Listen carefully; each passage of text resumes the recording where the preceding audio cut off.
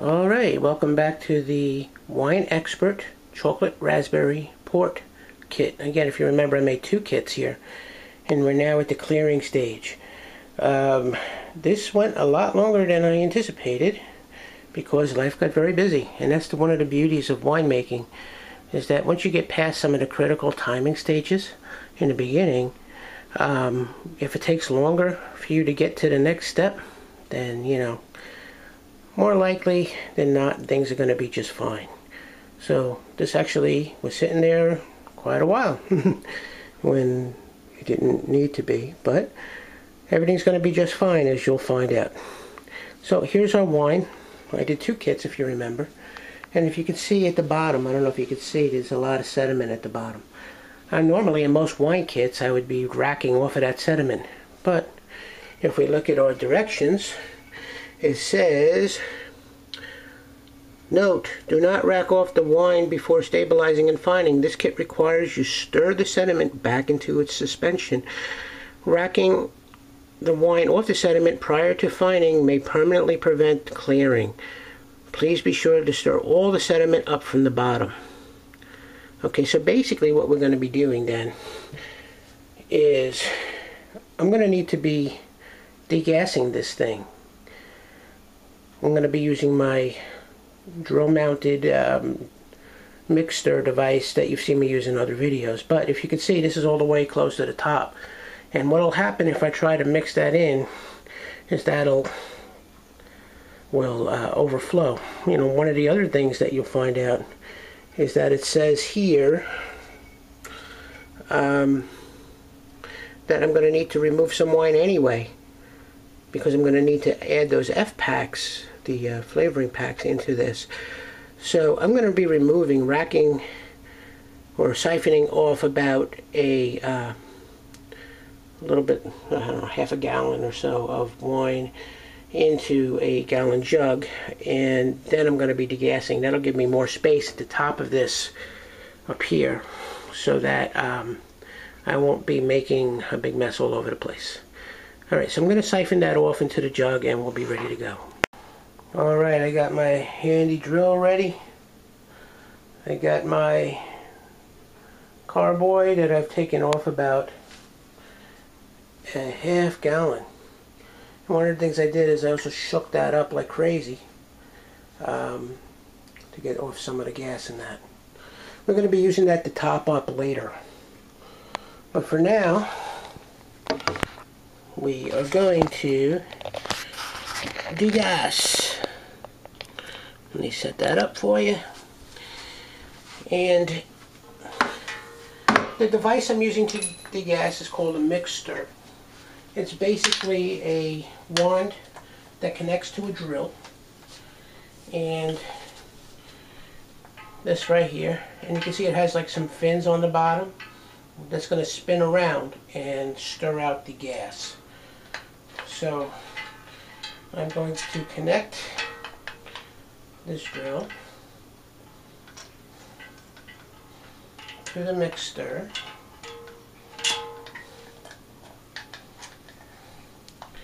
Put on the key. It's not one of those keyless drills. Sometimes I use my cordless and sometimes I use this one. Now, one of the things I would say is when you're going to do a wine, degas it, every wine is a little bit different. So if you degas it too hard in the beginning, you might find that a bunch of wine comes out over the top and spills all over the floor. Not what you like. So we're going to hit this slow first and see what happens, and then we'll make adjustments based on that.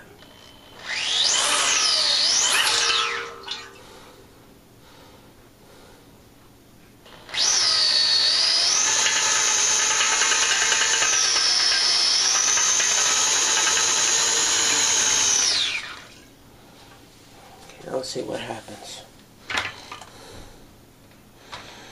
It doesn't look like it's overflowing like crazy. So we're going to continue to hit this.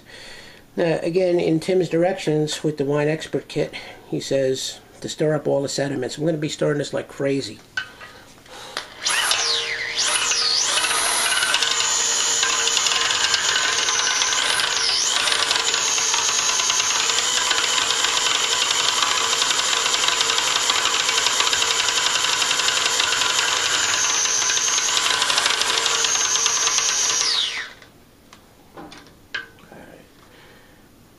that's just the beginning of the stirring. I'm not going to end there. But I do want to say this. The directions say to take the packets of sorbate and stabilizer. I have four packets because again I did two kits here. And it says to dissolve these packets in water and then pour them in. Uh, I'm entirely too lazy to do that. So what I'm going to be doing is I'm going to be taking all four of these and I'm going to be pouring them in to the wine like that. If you would like to follow the directions exactly and do that in a half cup of water, which would be a cup of water, you certainly can do that. Um, I'm just going to pour it in here and mix it like crazy. So that was the metabisulfite, and this is the sorbate. I'm going to mix these things in here like crazy.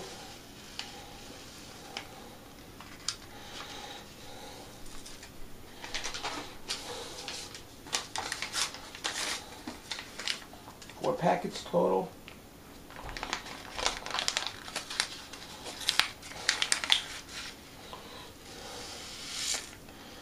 And I'm going to mix.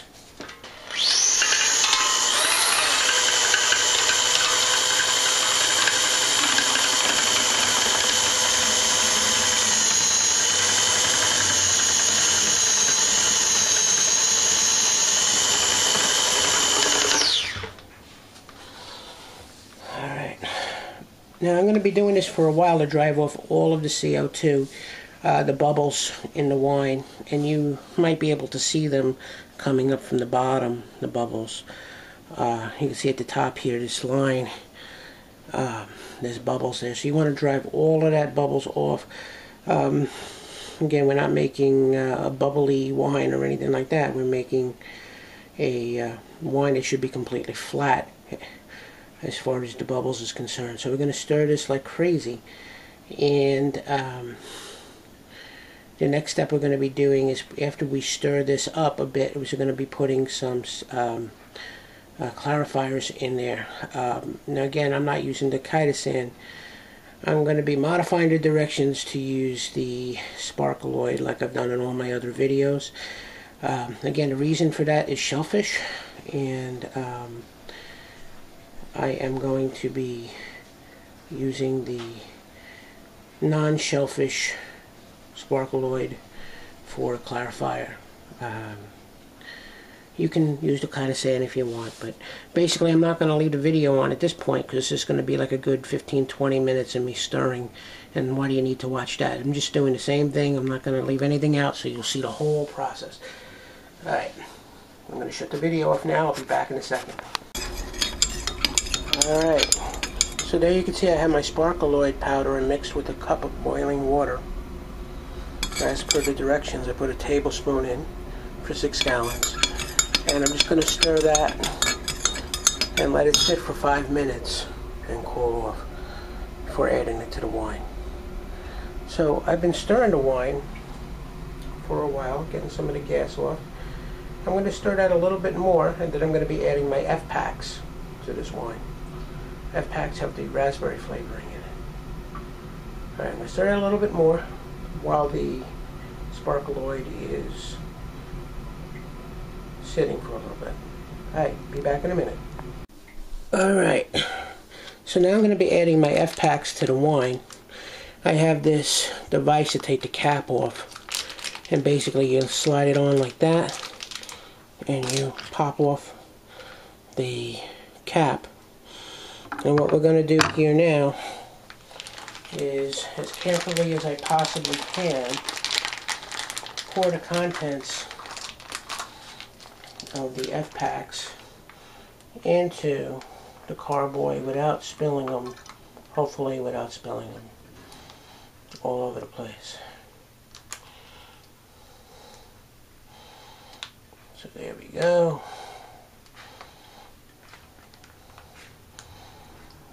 Well, what did I just say? Without spelling them? Wishful thinking, right?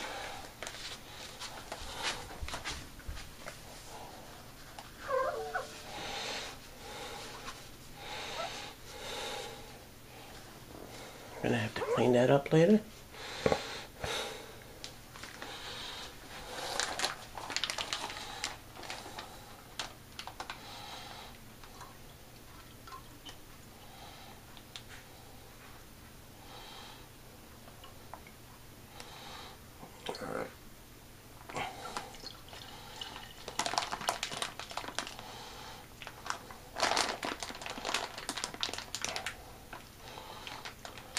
That is one F pack down.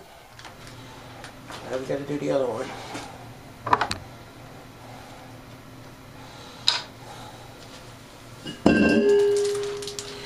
Easy, easy carboy. Take the other one off. I shook these up in the other room before bringing them in here.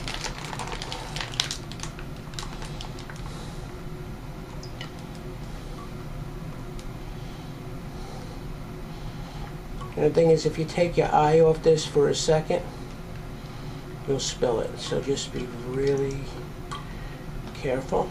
Try not to spill.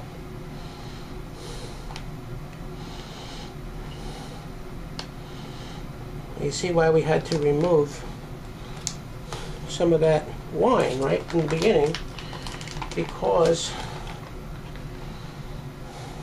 there's no room to add these F packs.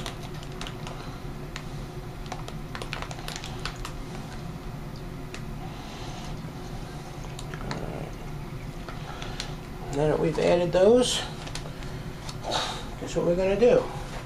Stir.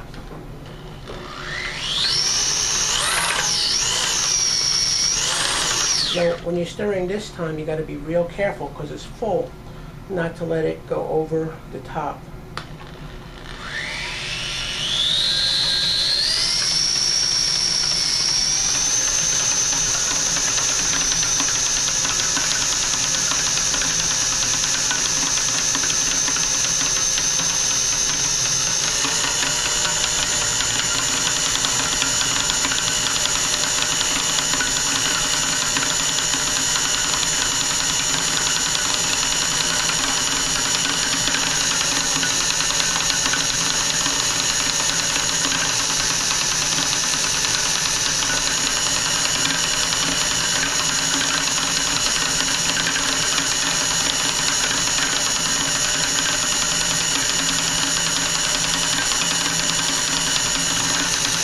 I'm going to be stirring that for a few minutes.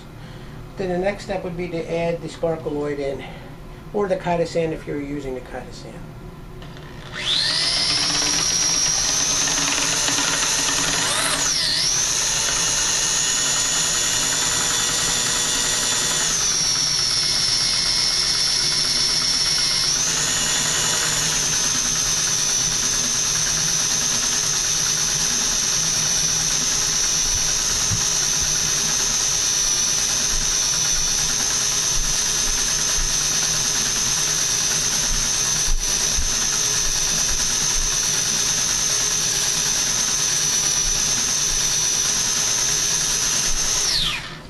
All right.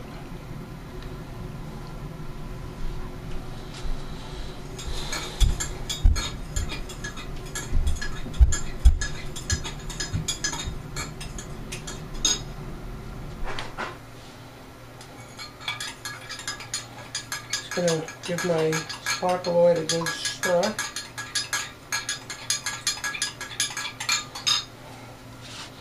And the next step will be to add the Sparkolloid.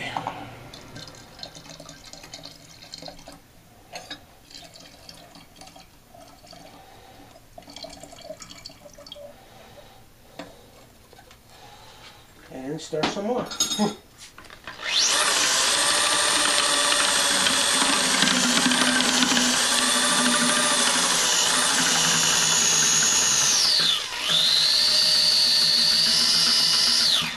So I'm going to be stirring this for like another five minutes. I'm going to shut the video off and I'll be right back. Hey, I don't know if you can see these bubbles coming up on the side. Let's see if you can see this in the video.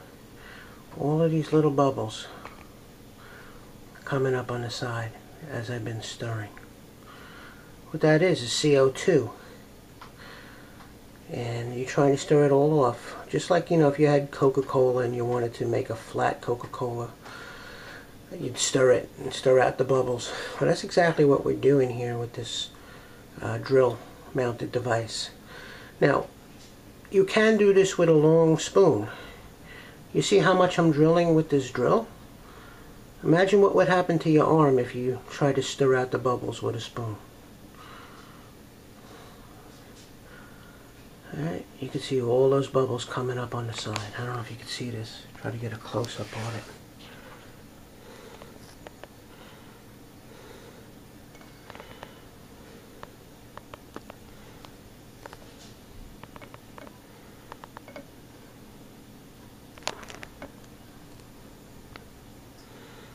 Alright, so I'm going to be stirring this a little bit more because I want to try to get more of those bubbles out. Then I'm going to be topping up. Alright, so now I'm going to be trying to remove my mixture without making a mess.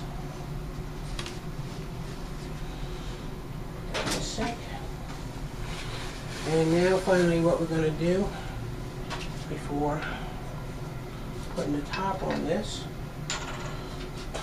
is topping up the carboy with some of that leftover wine.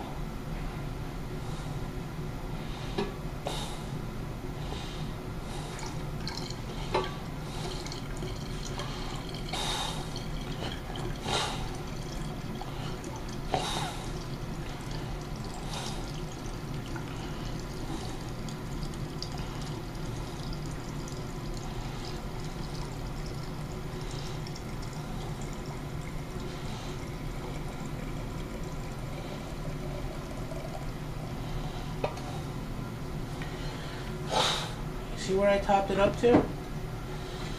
That's where about you want to be.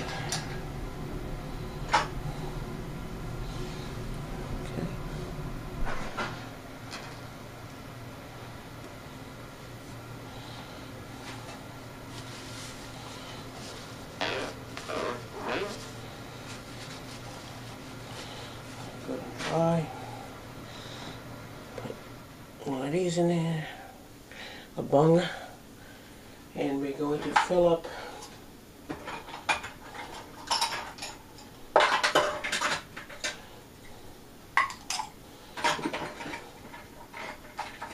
We're going to fill up a airlock.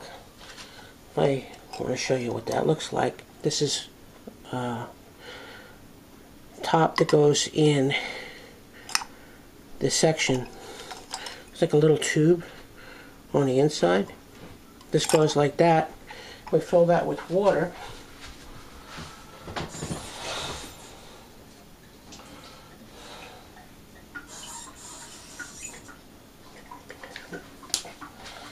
Fill that with water and you put it in the hole in the bung.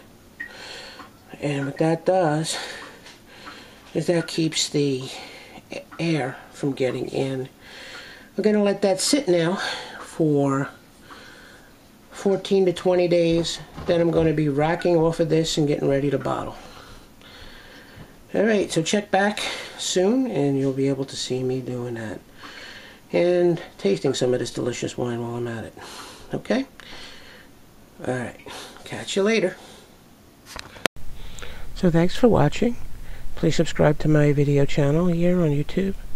And check out my blog at www.cooking italian-recipes.com for great Italian recipes, tips on organic gardening, winemaking, and uh, herbalism, and all other kind of fun stuff that I'm into. Thanks for watching. Please subscribe. Tell your friends. Take care.